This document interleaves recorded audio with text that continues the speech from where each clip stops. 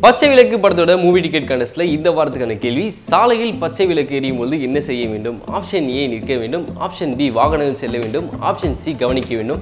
இந்த மூணு ஆப்ஷன்ஸ்ல எது கரெக்டான ஆப்ஷன் அப்படின்றத மறக்காம கீழே கமெண்ட் பண்ணுங்க. கமெண்ட் பண்ணதுக்கப்புறம் அதை ஒரு குட்டியாக ஸ்கிரீன்ஷாட் பண்ணி இந்த வாட்ஸ்அப் நம்பருக்கு அனுப்பிடுங்க. வாட்ஸ்அப் பண்ணிட்டீங்கன்னா இந்த வர வாரம் ரிலீஸ் ஆகிற படத்துக்கு ஈஸியாக டிக்கெட்ஸ் வின் பண்ணலாம். ஸோ குழுக்கள் முதல்ல டிக்கெட்ஸ் கொடுப்போம். ஸோ மறக்காம ஆன்சர் பண்ணுங்க. ஈஸியாக டிக்கெட்ஸ் வின் பண்ணுங்க. இப்போ தளபதி சிக்ஸ்டி ஃபோரில் எக்கச்சக்கமாக நிறைய கேஸ்டன் வந்து ஆட் ஆகிறாங்க. அந்த வரிசையில் பார்த்தீங்க அப்படின்னா இப்போ நைன்டி சிக்ஸ் ஃபேம் எல்லாருமே பிடிச்சவங்க அந்த ஜானு கேரக்டர் பண்ணியிருப்பாங்க இல்லையா?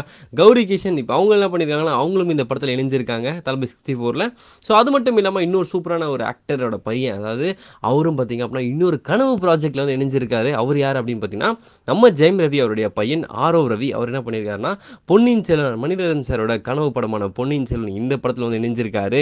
ஸோ இதனால என்னாச்சு அப்படின்னா கண்டிப்பாக வந்து நடிகரோட பையன் நடிகராக திரும்பவும் வந்து ஒரு அவதாரம் எடுத்து ஸோ இது எந்த அளவுக்கு ஒர்க் அவுட் ஆக போகுது அப்படிங்கிறத பொறுத்து இருந்து பார்ப்போம். அது மட்டும் இல்லாமல் ஆக்டர் ரம்யா பார்த்தீங்க அப்படின்னா அவங்களும் தளபதி சிக்ஸ்டி ஃபோரில் இணைஞ்சிருந்தாங்க. ஸோ அதை பற்றி எதுவுமே பேசவே இல்லையப்பா அப்படின்னு நினைக்கும் போது என்னாச்சுன்னா அவங்க வந்து ஒரு ட்வீட் வந்து போட்டிருந்தாங்க. என்ன அப்படின்னா சில நல்ல விஷயங்களுக்கு வந்து பொறுமையாக டைம் எடுக்கும். பட் ஆனால் கண்டிப்பாக அது கனவு வந்து மெய்ப்படும் அப்படிங்கிற மாதிரி இங்கிலீஷில் போட்டிருக்காங்க. அது மட்டும் இல்லாமல் இருக்கிற கேஷ் அண்ட் குழு எல்லாருக்குமே ஒரு பெரிய தேங்க் பண்ணிருந்தாங்க.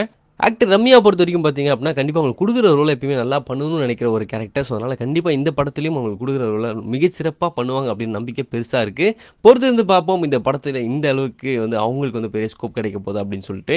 ஸோ இந்த மாதிரி எக்ஸ்க்ளூசிவான வெறித்தனமான நீங்கள் தெரிஞ்சிடும் அப்படின்னா நம்ம கலக்கல் சினிமாவுக்கு சப்ஸ்கிரைப் பண்ணுங்கள் கூட இருக்கிற பெல் பட்டன் தட்டி விட்டுருங்க.